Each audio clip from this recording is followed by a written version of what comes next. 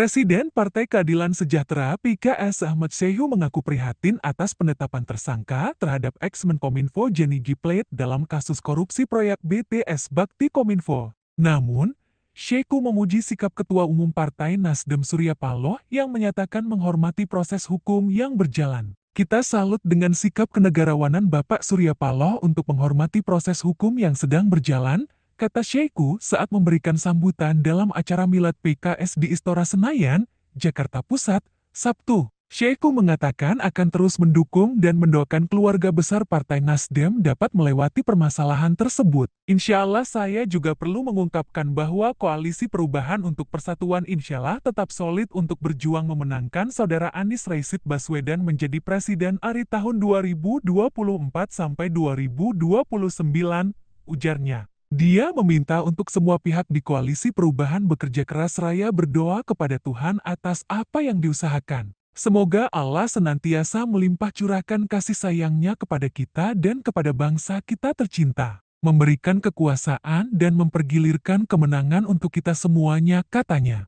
Sebelumnya, Kejaksaan Agung telah menetapkan Menteri Komunikasi dan Informatika Menkominfo, Gianni G. Plate, sebagai tersangka pada Rabu. Gianni G. Plate menjadi tersangka kasus dugaan korupsi pengadaan infrastruktur Base Transceiver Station BTS 4G. Menkominfo sekaligus Sekjen Partai Nasdem tersebut telah menjalani pemeriksaan ketiga kalinya sebelum ditetapkan sebagai tersangka kasus korupsi.